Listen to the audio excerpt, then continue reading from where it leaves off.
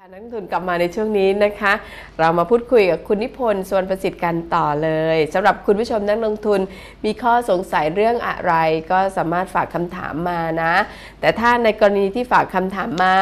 ขอให้เป็นคำถามที่มีรายละเอียดนิดนึงนะคะ เราก็จะได้รู้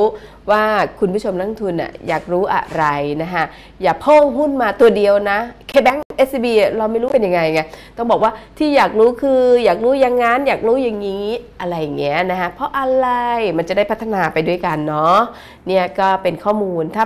ถ้ายังไม่รู้อะไรเลย ก็มาเตรียมอนุบาลกับอนุบาลด้วยกันในเดือนมิถุนายนมะมะ นะคะเราก็จะจัดทั้งเดือนเลยเพื่อนักลงทุนโดยเฉพาะเลยนะคะก็สอบถามรายละเอียดไม่ต้องสอบถามรายละเอียดหรอกข้างบนเนี่ยเนี่ยเนี่ยมันจะมีนะคะติดต่ออยู่แล้วนะคะก็โทรไปสอบถามกันได้นะนะคะเราจะได้ลงทุนได้อย่างมีความสุขนั่นเองนะคะ สวัสดีค่ะพี่นิพนธ์ค่ะครับสวัสดีครับพี่นิพนธ์เอ่อคุณโคสิทธิ์ปั้นเปลี่ยนรักน่ะคุณนิพนธ์รู้จักท่านมาอ่ารู้จักชื่อครับ อืมรู้ว่าใช่เป็นประธานแบงก์เทศ ใช่ใช่ซึ่งก็แล้วก็เป็นเป็นเป็นเอ่อเป็นประหลัดกระทรวงการคลังใช่ไหมเอ่อเป็นรัฐมนตรีค่ะรัฐมนตรีครับแต่ปลันแล้วก็อ่าเป็นเรื่องอุตสาหกรรมจะาช่วยเหลือพวกเกษตรกรเยอะอ่าแล้วก็เป็นรัฐมนตรีกระทคืรวงอเกสินษเชื่อตเกรษตรของแบงก์เทศอ่าที่ไปใช่ช่วยเกษตรกรเยอะก็ใช่มาจากใช่จากท่านนะครับเพราะท่านเป็นคนที่ก็ดีเป็นมากเลย เพราะม่อนอะสัมผัสเป็นนักข่าววิ่งตามแบงค์เทพสมัยก่อนนะนะฮะก็ได้รู้จัก ก็ต้องเรียกได้เป็นนักมืนั่นอบเป็นรินั่นเป็นเทพไหมไม่ไม่เป็นมือบริหารอาชีพ แล้วก็น่ารักมากเลย เป็นเทพหมายเรียกว่าเทพเวลาเจอคนโง่ๆแบบม่อนนะฮะท่านก็จะสอนนะ ระดับท่านแบบครับรัฐมนตรีเลยนะครับเออครับจะมาสอนเรื่อง GDP สอนดอกบงดอกเบี้ย แล้วสอนว่าสินเชื่อแบงก์จะปล่อยอย่างนี้เพราะอะไรอะไรนี่ก็สอนดีนะอืมเออให้ตอนความรู้ปี 40 50น่ะก็ครับก็ได้ได้ ได้รู้จักต้องถือได้ว่าเป็นอ่าปูชนียะอ่าบุคคลสำหรับประเทศไทยนะครัคะบที่เป็นคนที่มืออาชีพจริง ๆทำงานจริง ๆ ก็เป็นที่ไว้วางใจครับคนแบงก์กรุงเทพนะคะทางตระกูลโสพลพนิษฐ์ก็ให้อ่าท่านโกสิทธิ์นี่แหละนะฮะเป็นผู้บริหารมาโดยตลอดเป็นทั้งกรรมการนะคะพอว่างๆนะรัฐบาลชุดไหนเขาขาดคนก็ส่งคนส่งคุณโกสิทธิ์นะคะเข้าไปบริหารจัดการในแต่ละรัฐบาลสมัยก่อนนะคะคุณผู้ชม ก็เป็นตัวอย่างที่ดีมากๆสำหรับคนในวงการการเงินการคลังนั่นเองนะคะแล้วก็เศรษฐกิจของบ้านเรานะคะก็ตอนสมัยเป็นผู้บริหารยักษ์ใหญ่ของแบงก์กรุงเทพนี่เวลาท่านว่างนะคะคนเราอะนะก็ไปหากินรับประทานอาหารกันปกตินะคะเดินดินนะคะก็ชาวบ้านกันนะนะฮะก็มาจากชาวบ้านนั่นแหละ ก็ถือได้ว่าเป็นคนที่ทางด้านป่าเปรมนะคะพลเอกเปรมไว้วางใจมากที่สุดอีกคนหนึ่งนะคุณผู้ชม เท่าที่ดิฉันได้รู้จักมาก็ต้องแสดงความเสียใจนะแล้วก็ด้วยรักและอะไรนะบุคคลในวงการนี้นะที่เราได้รู้จักด้วยกันนะฮะในวันนี้เราก็นะฮะขออนุญาตนะพูดถึงคนที่เป็นประโยชน์กับชาติและบ้านเมืองนะฮะที่ทำมานะฮะ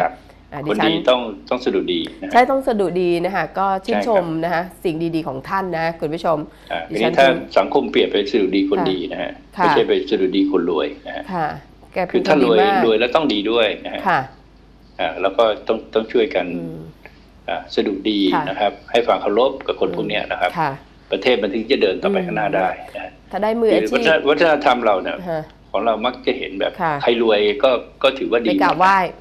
อันที่สองก็คือว่าอ่า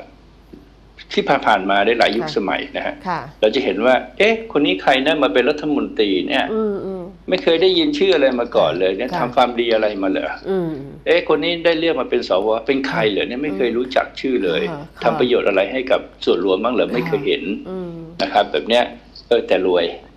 นกออกไหมครับ แต่ท่านโคสิทธิ์อันไม่เนี้ยรอันวยเนี้ยนะคนแบบเนี้ยเราต้องแบบว่าอืม question mark นะครับใช่ไม่ได้คือมันต้องรวยมีผลงานประกบไม่จำเป็นต้องมีชื่อเสียงนะครับค่ะค่ะแต่เป็นคนที่ต้องใจซื่อมือสะอาดใช่นะครับไม่ต้องเสียสละเพื่อชาติหรอกนะไม่ต้องเสียสละเลยหรอกแต่เป็นคนทำที่มือสะอาดนะแล้วใช่มีฝีมือนะฮะค่ะเราต้องช่วยกันยกย่องคนพวกนี้ค่ะนะฮะมากกว่าที่ไปเชิดชูคนมีเงิน ใช่ใช่เนาะนะครับดิฉันก็ขอยกย่องนะฮะ ทางด้านคุณโคสิทธิ์ปั้นเปลี่ยนรัฐนะซึ่งเป็นอดีตรัฐมนตรีในแต่ละยุคแต่ละสมัยของรัฐบาลในประเทศไทยนั่นเองนะคะอะค่ะก็เดี๋ยวเราก็มาทำมาหากินของเราต่อไปเนาะอืมครับอะใครมีคำถามหุ้นสำหรับคำถามหุ้นเลยม่อนถามเองเลยบีแลนด์พี่ครับดูให้หน่อยสิคะปีนิแรพกนเป็นธ์ไงฮะก็มีวัคนราเชียร์ออกให้มันไปเชียร์อยู่แล้วะคมันบเบรกเอาเวหรือไซด์เวว่ามันก็ พี่นิพนธ์มองขึ้นมาไงมีวอลลุ่มแล้วก็ออกข้างแล้วก็ไม่มีอะไรก็เหมือนก็จบข่าวอะนะฮะเหรอแล้วเป็นก็ไซส์ข่าวแรเขาก็บอกมาบอกว่าเขากำไรดีนะฮะโอ้มันมีสตอรี่เยอะพี่อืแล้วมมันก็จบยังคืยังตนยังนี้ไม่ออกยังตอนไม่นี้อดูอกนิดหนึ่งดูนิดนึงนะครับคือหุ้นอสังหาเนี่ยฮะเริ่มเริ่มโผล่มาทีละตัว ใช่ใช่หุ้นอสังหานะอย่างวันนี้เราจะเห็นว่ามีศุภาลัยค่ะคิวเฮาส์ดูคิวเฮาส์ดูคิวเฮาอะส์มาพี่ไปแบดูบคิวเฮาส์พรวดขึ้นมาเลยนะฮะ คือตอนนี้หุ้นที่มันยังไม่ขึ้นน่ะในขณะถ้าถ้าตลาดเนี่ยถามว่าทำไมตลาดเนี่ยเขาไม่ถึงให้มันไม่ให้ให้ไม่ให้มันมีเทรนด์คือถ้าตลาดมีเทรนด์ขึ้นไปทะลุพันสามร้อยพันสี่ร้อยห้าสิบพันหกร้อยเมื่อไหร่เนี่ยคือมันจะขึ้นเฉพาะ mid cap ฮะนะครับคือหุ้นขนาดกลางเนี่ย มันจะขึ้นไม่ได้เลยนะฮะอันนี้พอบิ๊กแคปมายืนอยู่นะฮะอย่างเงี้ยหุ้นขนาดขนาดกลางขนาดเล็กเนี่ยขนาดกลางที่มันมีคุณภาพนะฮะค่ะมันก็จะเริ่มขึ้นได้ คือเงินมันจะเริ่มไหลไปนะฮะ แล้วถ้าเราควบคุมหุ้นที่มันไม่ไม่มีอะไรนะหุ้นปั่นแล้วกันตรงๆนะฮะฮะได้เนี่ยตลาดมันก็จะเป็นการลงทุนนะฮะถ้ารอบนี้ทำให้เห็นอืมการขึ้นของหุ้นน่ะมันมีประสิทธิภาพนะฮะค่ะคือตลาดหุ้นมีประสิทธิภาพจริง ๆ ในการระดมทุนนะครับค่ะอ่าไม่ใช่ว่าหลอกให้คนมาอืมติดหุ้นกันหุ้นเหมือนในบ่อนนะอย่างเงี้ยเอ่อผมว่าความเชื่อมั่นของตลาดมันจะกลับมาเองนะฮะทุกคนก็จะได้เรียนรู้การลงทุนที่ที่ถูกต้องนะฮะเข้าใจว่าเออหุ้นซื้อนะ มันมีขึ้นมีลงนะ ติดไม่เป็นไรหรอกมีเงินปันผลนะฮะแล้วก็ทุกคนก็มาศึกษาหาความรู้ตลาดมันจะมีเสถียรภาพขึ้นค่ะคือสิ่งหนึ่งที่เราต้องพัฒนาไปก็คือเรื่องของประสิทธิภาพของตลาดนะฮะค่ะซึ่งขนาดเนี้ยเดินมาไกลพอสมควรแล้วนะครับอืมผมผมเชื่อว่าตลาดก็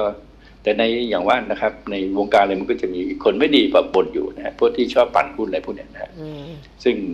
ซึ่งก็ถ้าไม่มีหุ้นให้ปั่นก็คงไม่ปั่นหรอกนะฮะค่ะ ผมก็ยังยืนยันเหมือนเดิมว่ามันต้องเอาหุ้นพวกนี้ออกไปนะครับอืมเอาไปสคือห้าม backdoor อะต่อไปห้ามใคร backdoor ธุรกิจเข้ามาในตลาดหุ้นเด็ดขาดนะฮะเพราะถ้าคุณดีจริงคุณก็ยื่นเข้ามาเองสินะฮะอันนี้คือคำตอบง่ายๆว่าทำไมไม่ควร backdoor อ๋อใช่ไหมคุณมอนใช่คือถ้าธุรกิจคุณดีคุณก็คุณก็เอาธุรกิจของคุณไป ยื่นกรตเข้ามาเองสิจะ backdoor ทำไมอุ๊ยไม่ได้บางมีประโยชน์อะไรมีบางตัวนะแบก backdoor อะไรอาจารย์อาเจพีมาเป็นโอ้อะไรก็เยอะแยะเนาะเนาะเนาะเนาะอืมจนปัจจุบันมาเป็นอะไรก็ไม่รู้อะก็เดี๋ยวมีคำถามแบ็กนะดอคะมาแล้วก็เอาเงินไปซื้อที่ดินที่ตัวเองติดอยู่เดิมอะค่ะก็เอาเงินจากตลาดไปแล้วก็ไปซื้อเอาไปซื้อที่ดินแล้วก็ไม่ได้มีโครงการอะไรค่ะค่ะอะนะครับไม่ประสบความสำเร็จหรอกค่ะอะมีคนถามพี่นิพนธ์ว่าบ้านปูกำลังจะเป็นคลื่นสามไหมคะ คือราคาถ่านหินเนี่ยมันกำลังขึ้นนะครับค่ะ ดูนิดอะนึงเดี๋ยวดูบ้าเดี๋ยวให้ปูพี่นิพนธ์ะดูกราฟบ้านปูนิดหนึ่งนะคะ คือบ้านปูเนี่ยก็เป็นคอมมอดิตี้นะฮะค่ะดังนั้นบ้านปูก็มีโอกาสที่จะเป็นนะฮะเราอย่าไปดูว่านะครับ คือเราอย่าไปสุดโต่งเวลาเราเล่นหุ้นนะฮะว่าอ่า มันไม่สามารถที่จะกลับขึ้นมาใหม่ได้เลยหนอนเนี้ยนะครับค่ะเอ่อยังยังไม่มีนะสัญญาณของบ้านปูตัวนี้ก็เป็นสัญญาณของการไซด์เวย์นะครับเราดูอืมกรอบใหญ่นิดนึงนะฮะ กรอบใหญ่นิดนึงนะครับ indicator ก็บอกเป็น sideway ทั้งหมดนะฮะก็บอกได้ว่า bottom ไปแล้วนะครับบ้านปูที่สิบบาทประมาณสิบาทเนี่ย bottom แล้วนะครับอืมแล้วแถวๆนี้ก็ไม่ต้องขายแล้วนะฮะค่ะแล้วก็จะเป็นคลื่นสามไหมก็มีโอกาสนะครับ มีโอกาสที่จะกลับขึ้นไปนะฮะเดี๋ยวสิบสามบาทห้าสิบสิบสี่บาทก็สามารถขึ้นไปทำที่สามได้นะฮะค่ะสิบหกสิบเจ็ดอะไรก็ได้นะครับบ้านปูคือเป็นหุ้นที่บอกว่าไม่ต้องขายนะครับ เพราะฉะนั้นถ้าเราคาดว่ามันจะมีเนี่ยเราก็ลองไปซื้อสะสมดูนะครับเพราะนี่นี่ดูแค่ช่วงสั้นนะครับ ถ้าดูระยะกลางไปหน่อยมันก็เหมือนกันนะฮะเราจะเห็นว่าอ่าตัวของ moving นะครับข้างล่างเนี่ยที่ผมชี้ๆเนี่ยนะครับอ่าน่าจะไม่เห็นเดี๋ยวดูนิดหนึ่งนะครับค่ะ moving คือเส้นที่ข้างล่างเนี่ยนะฮะมันเริ่มชันขึ้นเรื่อยๆขณะที่หุ้นไม่ได้ลงแล้วนะฮะค่ะลักษณะแบบเนี้ยเป็นหุ้นที่บอกว่าบัตทอมไปแล้วนะครับอืม แล้วก็พร้อมจะขึ้นถ้าปัจจัยมันมานะครับข้างล่างเนี่ย moving เอ่อตัว MACD MACD นะฮะอืมนะครับค่ะอืมก็ยังไม่ได้บอกว่าจะมีไม่มีนะฮะค่ะแต่ซื้อสะแต่สปัมจจัได้ยนะปัจจัยก็คือตัวของราคาถ่านหินก็เริ่มขึ้นนะค่ะเริ่มขึ้นเป็นหนึ่งนะฮะนะครับ เพราะฉะนั้นบ้านปูก็คงยังเป็นอยู่อยู่ในหนึ่งอะไรทำนองเนี้ยนะครับ ค่ะอะ UV ค่ะ UV อยู่ในคลื่นอะไรคะอาจารย์ เนี่ยถามถามให้แล้วนะ คุณแพะคุณอะไรนะอ่า UV อยู่ใน stage ของอ่า stage สุดท้ายเนี่ยอ่าตอนเนี้ยวันเนี้ยเราจะเห็นว่าหุ้นอสังหาส่วนใหญ่ขึ้นนะครับ วันนี้ค่ะ UV ก็ขึ้นเหมือนกันนะครับ ขึ้นไปก็เจ็ดบาทอะไรเงี้ยแล้วก็ลงใหม่ยังไม่ได้ขึ้นจริงจังนะค่ะก็อยู่ในในขึ้นอะไรนะฮะเอ่ออยู่ในสองแล้วกันนะฮะค่ะอยู่ในสองสองสามอะสองทำสามนะค่ะค่ะแล้วเราจะเข้าไหมคะพี่ UV อะไรนะครับ UV สองทำสามเข้าไปไหมก็สองทำสามอยู่เป็นสองอะจะยังไม่บอกว่าจะทำสามไหมอ๋อก็ผ่านเจ็ดบาทไปก่อนนะฮะอ๋อเพราะว่างตอนนี้มันเล่นเล่นขึ้นมาในกระแสก็คือของ อสังหาริมทรัพย์ค่ะค่ะใช่นะครับส่วน UV เนี่ยก็จะมีถ้าถ้าพูดถึงเรื่องเนี่ยมันก็จะต้องมีเรื่องราวของมันนะฮะค่ะก็มีโครงโครงการก็เป็นแสนล้านนะโครงการเสียเจริญนะค่ะอะแต่เราไม่รู้เขาจะ UV เขาหรือเปล่านะครับค่ะแต่รู้สึกจะขายอะไรกองลิสต์นะฮะตัวหนึ่งค่ะ read อะไรทำนอง read เนี้ยค่ะอะนะครับก็ก็ขึ้นมา แต่ตอนเนี้ยหุ้นหุ้นอสังหามันจะเริ่มค่ะสลับขึ้นมาอะเดี๋ยวถ้างั้นตามมาสังหาอีกท่านหนึ่งนะพี่นิพนธ์แกบอกว่า Quality House เพิ่งลงจากดอย 2.47 ควรขายหรือปล่อยกำไรไปก่อนนะคะ แนวต้านใช่หรือเปล่า 2.5 กับ 2.6 ค่ะ ใช่ฮะแนวต้านตรงเนี้ย2.52 แล้วนะแล้ควรับยังไงฮะ ตรงตรงตรงนี้ ผ่านไหมก็ต้องดูว่ามันผ่านไหมนะฮะถ้าไม่ผ่านก็ขายใช่ไหมฮะคืออ่าตรงนี้นะมันเป็นแนวต้านแรกในลักษณะค่ะก็คือว่ามันต้องขายก่อนนะครับค่ะแล้วดูลักษณะการย่อนะฮะถ้าไม่หลุด 2 3 5 เนี่ย โอกาสที่จะวิ่งกลับขึ้นไป 3 บาทก็จะเกิดขึ้นค่ะนะครับ หุ้นพวกนี้เวลาเล่นนะดูว่าไม่ได้ไม่ได้เล่นแค่ขึ้นเล็กๆนี่หรอกนะฮะค่ะอาจจะเพิ่งเริ่มเริ่มเริ่มเล่นอืนะครับมค่ะคือเราดูว่าหุ้นใหญ่เนี่ยอย่างแบงค์ขึ้นมาวันหนึงก็แปลกแล้วไปไม่ได้น้ำมันก็แปลกนะฮะสื่อสารก็ไปไม่ได้ ก็เหลือหุ้นขนาดกลางก็คือหุ้นกลุ่มอสังหาริมทรัพย์เนี่ยนะครับค่ะซึ่งไม่ได้ขึ้นนะฮะก็จะ rebound ขึ้นไปเป็นขึ้น X อะไรเงี้ยนะฮะค่ะธรรมชาติแต่ต้องบอกว่า ในธุรกิจอสังหาริมทรัพย์จากช่วงห้าหกปีที่ผ่านมาตอนนี้มันเป็นคือมันหายไปแล้วนะค่ะ ตอนนี้มันเป็นการ rebound เพื่อรับกำไรที่มันยังค้างๆอยู่ของการโอนอ่าโอนโอนกระจุกตัวในช่วงมกราถึงเมษานะครับ ที่มีการอ่าอะไรนะครับกับฟรีธรรมเนียมค่าโอนค่ะนะครับมันก็จะทำกำไรให้กำไรของกลุ่มอสังหาในไตรมาสหนึ่งไตรมาสสองเนี่ยมันจะปูดมันจะเยอะอืมเอิมนจะกระจุกค่ะตัวนะครับอะมันแล้วก็ขึ้นเล่นมาตามอ่ากระแสเนี่ยนะแล้วอสังอีกตัวหนึ่งครับพฤกษาอยู่ในคลื่นอะไรคะ อะไรนะครับพฤกษา PS ค่ะ อยู่ในคลื่นอะไรคะ ก็เหมือนกันหมดเลย เรานับว่าเป็นขึ้น X นะฮะค่ะ เป็น X นะครับปรึกษาในขึ้นใหญ่ก็เป็นไซด์เวย์อยู่ในกรอบของ 15 บาทกับ 35 บาทนะฮะตอนนี้อยู่ 25 บาทก็อยู่ตรงกลาง มันก็อยู่ที่ว่าเขาจะเล่นไหมล่ะนะครับค่ะถ้าปรึกษาเป็นบ้านราคาสูงใช่ไหมใช่ค่ะพฤกษาราคาสูงก็จะไม่ได้ประโยชน์จากไอ้นโยบายของภาครัฐเท่าไหร่ค่ะ เอสอยู่ในคลื่นอะไร แล้วมีคนถามว่าตัวสิงห์เนี่ยต้นทุนมีอยู่ที่บริเวณ 5 บาท 10 สตางค์ซื้อเพิ่มได้หรือเปล่าคะเอ่อสิงห์เป็นเป็นหุ้นที่เอ่อพูดถึงว่าโครงสร้างระยะยาวอะน่าจะดีนะค่ะนะครับผมว่าแถวๆห้าบาทเลยนะก็เป็นราคาที่มันไม่น่าจะต่ำกว่านี้นะค่ะต้องคิดแบบซื้อลงทุนนะครับ มากกว่านะค่ะอะ อสังหาไหนๆก็อสังหาเอาให้หมดเลยสังหา AP ค่ะ AP Thailand ต้องเข้าใจนิดนึงว่าการเล่นของตัวเนี้ยมันจะเลือกเล่นเป็นรายตัว ค่ะค่ะพี่นะครับ AP ก็ผมว่ามันเล่นแบบวันนี้มันก็คือเล่นรีบาวด์ขึ้นมานะฮะเพื่อพยุงเซตให้ขึ้นนะครับค่ะอืมก็เป็นอาการลักษณะเนี้ยมานานแล้วนะครับ ขึ้นวันหนึ่งวันรุ่งขึ้นลงอะไรทั้งหมดเนี้ยนะค่ะวอลุ่ม AP ก็วันนี้ไม่ได้เข้ามากมายนะฮะค่ะที่เข้าชัดๆไม่จะเป็นสุภาลัยนะ เออไวลุมถ้าเล่นเล่นต้องเล่นสุภาลัยเล่นอ่าตัวลีดเลยสุเนาะภาลัยเนี่ยมันมันวอลุ่มมันเข้านะค่ะฮะค่ะแต่ถ้าเรา LPN เนี่ยมันก็จะไม่เข้า LPN ก็ไม่มา อืมใช่ใช่เอ่อมันจะไม่มามันจะมาเป็นตัวตัวอ่าไปใช่ใช่ไม่ใช่ใช่ไม่ถือว่าสุภาลัยมาแล้ว LPN ต้องมาไม่ใช่นะอย่าคิดค่ะแบบนั้นนะฮะไอ้ตัวที่มันมาเราก็จะไม่รู้ถูกไหมครับค่ะอย่ามันมาแล้ววันหนึ่งสมมติเราไปตามคิวเฮาเนี่ย แล้วมันชนพอดีค่ะเราขายไปพรุ่งนี้มันอาจจะไปต่ออีกวันก็ได้ อันนี้คือความไม่แน่นอนของตลาดลักษณะแบบนี้นะครับ ซึ่งซึ่งก็คือสรุปว่าดีสุดนะทยอยขาย ขายอะไรคะ คือมันขึ้นมาเราก็แบ่งขายไปอ๋อสมมติคิวเฮามันขึ้นมาตรงเนี้ยเราอย่าไปมั่นใจว่า เฮ้ยมันขึ้นมาตรงแนวต้านเลยแล้วมันก็ขายไปหมดเลยนะฮะค่ะแล้วพอมันขึ้นต่อไปก็จะรู้สึกว่ามันเสียใจเข้าไหมฮะค่ะแต่ถ้าเราขายไปสักครึ่งหนึ่งมันจะขึ้นต่อเรายังมีของอยู่อีกอ่ค่ะค่ะนะครับลยุทธ์เราก็ต้องยอมรับสภาพของตลาดที่มันไม่แน่นอนนะฮะค่ะซึ่งซึ่งมัน ถึงแม้มันจะขึ้นไปพันห้ามันก็สภาพตลาดก็จะเป็นอยู่แบบนี้นะ ไม่ได้ทำให้หุ้นเนี่ยมันขึ้นแบบพร้อมๆกันนะฮะค่ะมันไม่เหมือนหุ้นที่เราไปซื้อตอนที่มันอยู่ที่พันสองร้อยยี่สิบค่ะตัวเนี้ยไอ้ตัวนั้นซื้อตัวไหนแล้วถือไว้เนี่ยมันจะขึ้นมาอย่างน้อยยี่สิบสามสิบเปอร์เซ็นต์แน่นอนนะฮะอืมแต่ถ้าซื้อตอนช่วงท้ายของ SET Index เนี่ยนะครับท้ายนี่มันอาจจะอยู่พันห้าร้อยห้าสิบก็ได้นะมันยากนะครับเพราะมันอาจจะขึ้นเป็นตัวของเราไม่ขึ้นเลยก็ได้นะครับค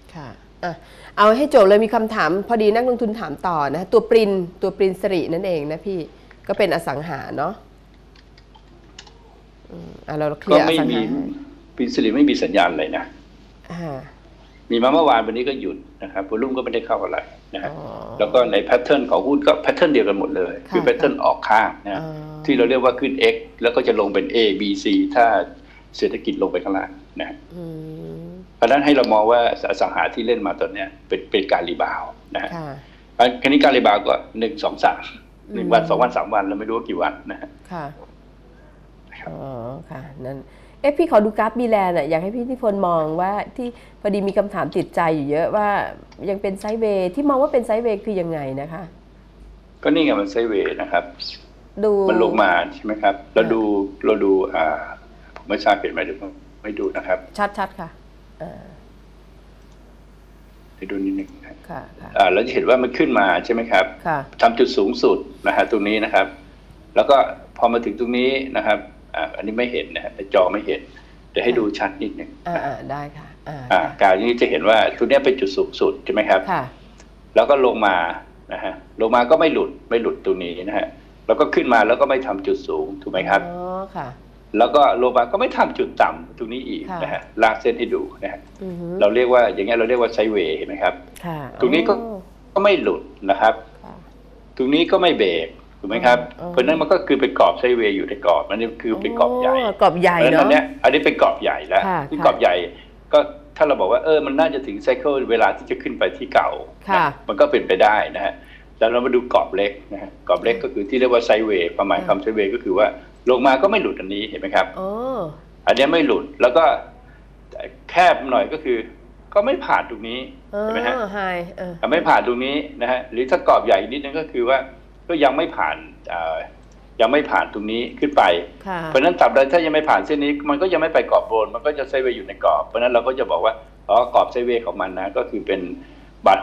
64นะครับ ถ้าผ่านบาท64ไปเนี่ยแล้วก็มันก็จะไปที่ที่ อ่าบาท87นะครับ ส่วนข้างล่างเนี่ยก็คือว่ามันก็คือบาท50นะฮะอันนี้เขาเรียกว่า sideway นะฮะกรอบ sideway อ๋อถ้าถ้าเป็นล่าสุดล่ะคะ เป็น daily เป็นอะไรอย่างเงี้ยถ้ากราฟเนี่ย daily ch art แล้วอันนี้ daily chart weekly chart อืมเหมือนกันเหมือนกันค่ะไอตัวของตัวของที่แตกต่างก็คือ indicator ของ daily chart weekly chart เท่านั้นที่เอ่อที่ไม่เหมือนกันนะฮะแต่ตัว pattern เนี่ยก็จะเหมือนกันทั้งหมดนะฮะอืมอ่าตัวของ indicator ก็บอกว่า sideway อยู่นะครับ แล้วก็เริ่มมีสัญญาณดีขึ้นสำหรับบางกอกแลนด์นะครับค่ะในการที่จะขึ้นไปในระยะกลางนะฮะค่ะเพราะว่า indicator เริ่มชี้ขึ้นนะครับค่ะเริ่มชี้ขึ้นนะครับ RSI เริ่มแข็งแกร่งขึ้น อันเนี้ยเรามันก็สามารถคาดได้ว่า ถ้าจะบอกว่าไปบาท64ได้ไหมพูดได้เพราะระยะกลางมันเริ่มส่งส่งแล้วนะฮะ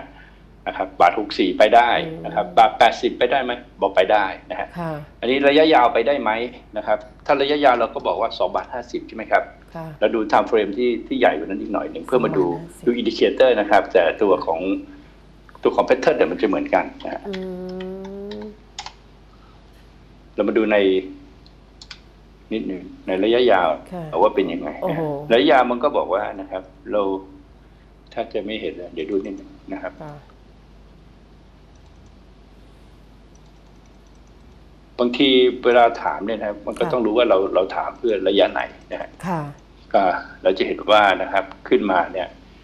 ใหญ่เลยก็ไปติดกรอบใหญ่บนเนี่ยล่างก็คือไม่หลุดล่างนะฮะอ๋อแล้วก็อ่าเป็นอะไรนะฮะก็เริ่มเริ่มเริ่มดีสัญญาณนะครับ ดีขึ้นนะครับอ่าแล้วก็ คือมันมันบอกว่าไม่ต้องขายแล้วอะประกอบแรงนะฮะอืมลุ้นลุ้นมันขึ้นนะครับ ระยะยาวมันก็บอกว่าเออมันก็จะเป็นไซด์เวย์อยู่นะ แต่มันก็มีมีโอกาสที่ที่มันจะขึ้น นะครับค่ะแต่เนื่องจากว่าสโตขึ้นมาโอเวอร์บอลแล้ว มันก็บอกว่า เออ มันก็คงไม่ได้ขึ้นไปไหนไกลมีมีตรงไหนมีเบรกเอาเวเบรกอะไรกับเขาไหมมีไหมก็ตรงตรงตรงที่อ่าตรงที่ขึ้นไปเมื่อวันก่อนที่เป็นแท่งใหญ่เนยนะฮะอ่าก็เบรกตรงนั้นไปได้ บาทห้าแปดเนี่ยนะฮะเดี๋ยวต้องดูนิดนึงนะฮะค่ะค่ะ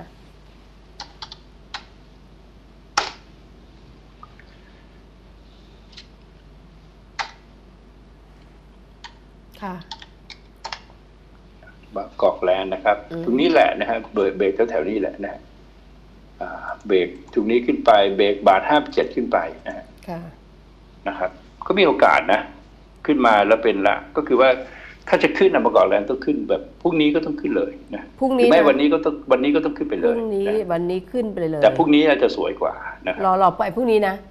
แล้วเราไปพรุ่งนี้ดีกว่า แล้วยกผ่านขึ้นไปเลยไปบาทหกเจ็ดก่อนอะไรเงี้ยอะไปบาทหกคือถือเวลาเนี่ยมันต้องเล่นแล้วเพราะมันเวลาของใช่ของมันสังหาแล้วเออมันเป็นเวลาของอสังหาอสังหาไม่หุ้นนี้เล่นได้เยอะดิว้ายกรพัฒน์อย่าพึ่งน้องกำลังคุยกับพี่นิพนธ์อยู่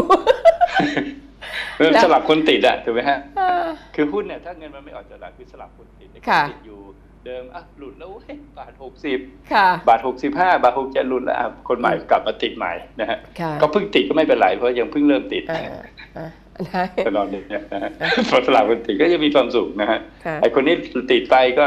พอขายหุ้นบางกอกแลนด์ไปเสร็จก็มือคันไม่รู้จักจะถือเงินสดไว้ก่อนอ่าก็มือคันก็เข้าไปซื้อหุ้นเอาไปติดตัวอื่นก็วนอยู่แบบนี้แหละค่ะอะอืมได้กับได้ที่เรื่องจ้างอะช่วยดูเดมโก้เห็นนักลงทุนหลายคนกระจองงอแงติดดอยกันเยอะ ถามมามีดอยผ้าช่วงหุ่มที่ปผ่ากนมามีหุ้นเนี่ยหลายตัวนะครับอืมก็มี AI ตัว AIE แล้วก็เดมโก้ค่ะค่ะสามตัวเนี้เป็นหุ้นที่อ่าผิดหวัง AI เนี่ยผมว่ามันคงเป็นเรื่องของธุรกิจที่มันไปไม่รอดนะฮะค่ะมันไม่ได้ผูกขาดหรอกมันคนซื้อถ้วยมันมีคนเดียว ส่วนค่ะเดมโก้เนี่ยผมว่าที่มันพลาดคือวินเอเนจีนะอ่าค่ะ เทคนิคมันเป็นยังไงแล้วฮะเขาถามมาพี่เทคนิคมันลงมาที่ฐานแล้วยืนออกข้างเป็นขึ้นเป็น stage ที่เจ็ดเลยนะใครอยากรู้ว่า stage ที่เจ็ดคืออะไรนะฮะก็ต้องไปเรียนเรื่องของหัวกระตูดนะบัญญัติสิบประการนะครับเออจองมาเลย DEMCO ถามก็เนี่ยอยู่ในพวกเดียวกับนะฮะ DEMCO เนี่ยลักษณะของ DEMCO เนี่ยก็คือเป็นหุ้นที่อยู่ในประเภทเดียวกับอ่าอ่าอะไรนะครับ IFEC นะฮะค่ะหุ้นพวกนี้เป็นการสร้างฐานใหม่ทั้งหมดเลยนะครับ เพราะฉะนั้นในบริเวณของ ของเดมโก้นะฮะที่อ่าที่อ่าที่บริเวณหกบาทเนี่ยนะฮะค่ะถึงหกบาทห้าสิบเนี่ยก็จะบริเวณที่ไซด์เวย์อยู่แบบเนี้ยนะครับออกข้างไปนานเลยนะฮะอืมช่วยอะไรเขาได้ไหมพี่เขาติดกันสิบห้าบาทอะช่วยช่วยช่วยเตือนสตินะว่าว่าพูดแบบเนี้ยต้องรู้จุดสต็อปลอสเวลามันขึ้นไปข้างบนนะฮะอ๋อเพราะว่าไม่งั้นเวลาขึ้นลงมาข้างล่างแบบเนี้ย เราก็อยากจะขายมันนะฮะ พอขายเสร็จแล้วเนี่ยเดี๋ยววันหนึ่งมันก็ขึ้นนะอืมเตือนได้แค่เนี้ยบอกได้แค่เนี้ยในความรู้ที่เรามีอยู่นะครับค่ะว่าจำไว้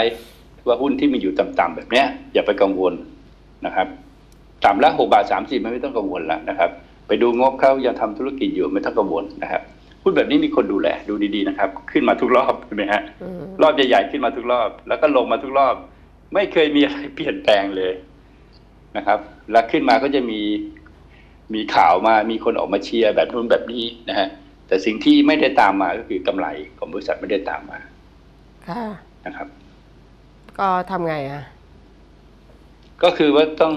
ติดอยู่เท่าไหร่ไม่รู้นะฮะเราอย่าไปคิดเรื่องราคา เราคิดว่าราคาเดฟโก้หกบาทสามสิบเป็นราคาที่ต่ำแล้วนะฮะแล้วเมื่อไหร่ขึ้น ผมเคยแนะนำไปนะครับ ให้คนขายหุ้นตัวหนึ่งนะฮะแล้วก็ผ่านไปสิบปีแล้วมันขึ้นเป็นสิบเท่านะฮะ เขายังกลับมาด่าผมเลยอืมว่ารู้งี้ไม่น่าไปเชื่อมึงเลยอืมแนะนำให้ขายแล้วก็เนี่ย ขึ้นไปเห็นไหมสิบเท่าสิบปีนะยังจำได้อยู่เลย ใช่ไหมครับค่ะมันหุ้นแบบเนี้ยเดี๋ยวอีกอีกไม่กี่ปีเดี๋ยวมันก็จะขึ้นไปข้างบนใหม่นะฮะ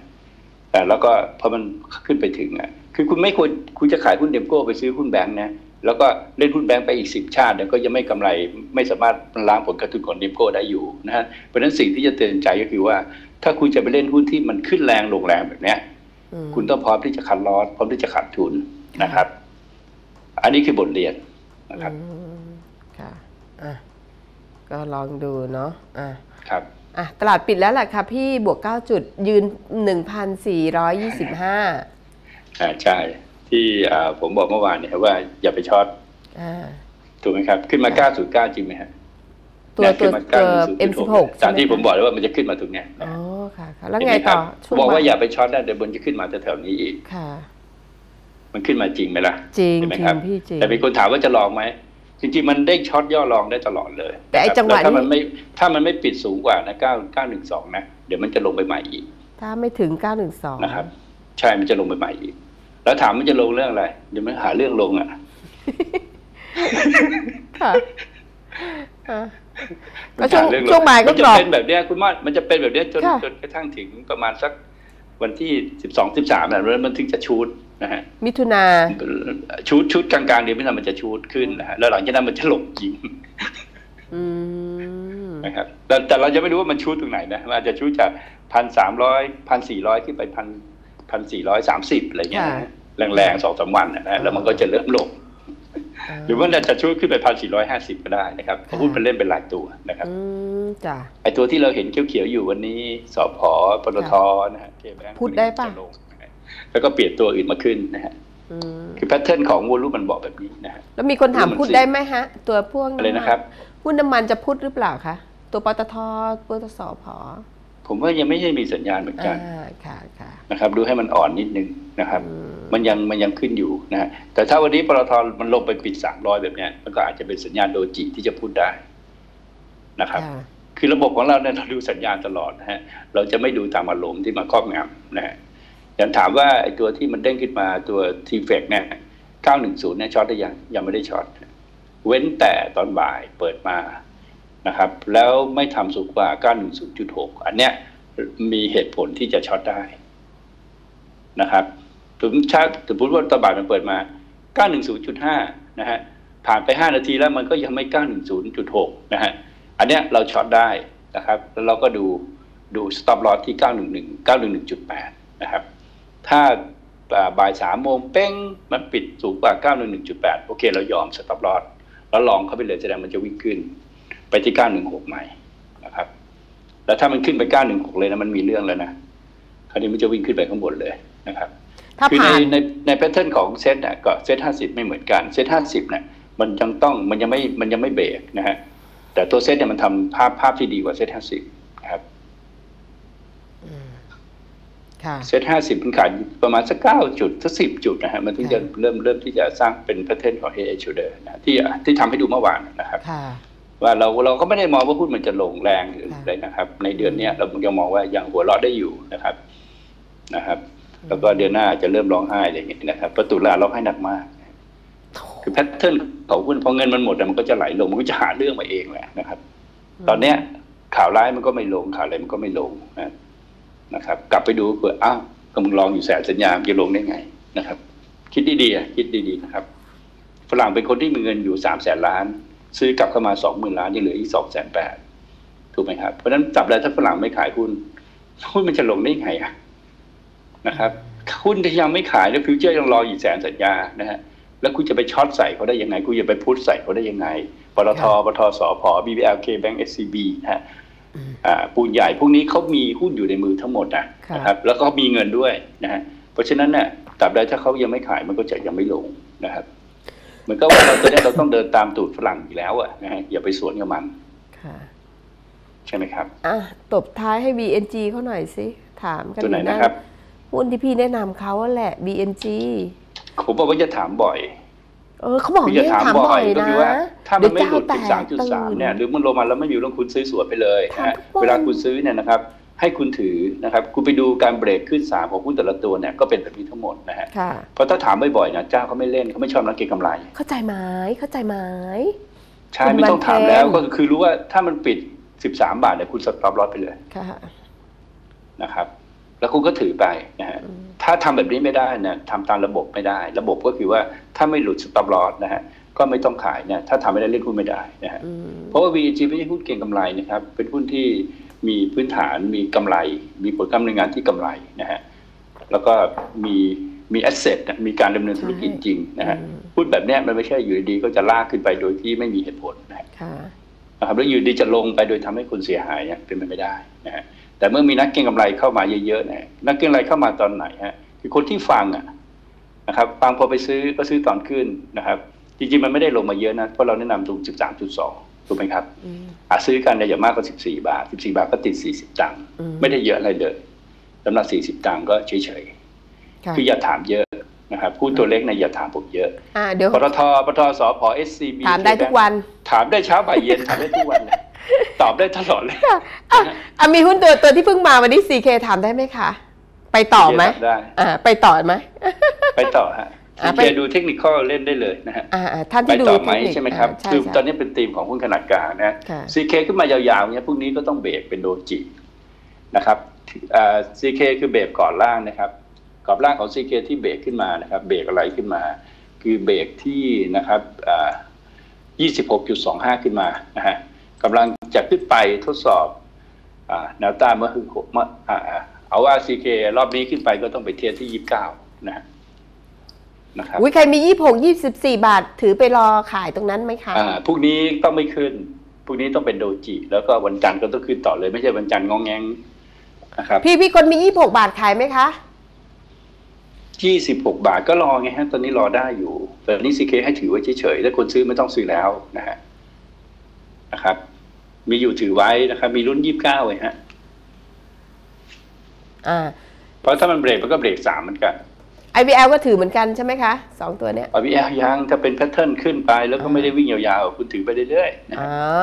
าตอนจบมันจะวิ่งยาวๆ มันไม่วิ่งมันวิ่งแบบว่าคุณขายไปแล้วมันขึ้นต่อไปจากที่คุณขายอีกห้าบาทเจ็ดบาทนั่นแหละนั่นของจริงมันคือท่าจบนะฮะจ้าโอ้โหแจ่แต่มถ้ายัแล้วแจ่มขึ้นแล้มาวสองบาทสามบาทลงบาทห้าสิบลงสองบาทยังขึ้นต่อไปเรื่อยๆนะฮะเอ้าสุดยอดเจ้าเขาแข็งเจ้าเขาแข็ง นี่เล่นลูกมันอยู่พี่เล่นลูกมันอยู่เออเล่นลูกตามไปเล่นลูกก็เล่นแบบใช้เวย์ใช้เวย์ใช้เวย์อัพ กะเอาร้อยเปอร์เซ็นต์นะครันะบเนี่ยอืมอะมีลูกมีหลานเล่นกันให้บานตะไท ก็หมดแล้วคือเนาะมันตมีลาดย่อมาสมมติว่าเราจะเล่น block trade กับมันคือมันย่อแล้วก็เข้าไปลองแล้วก็ถือไปตรงนี้ก็ได้นะฮะ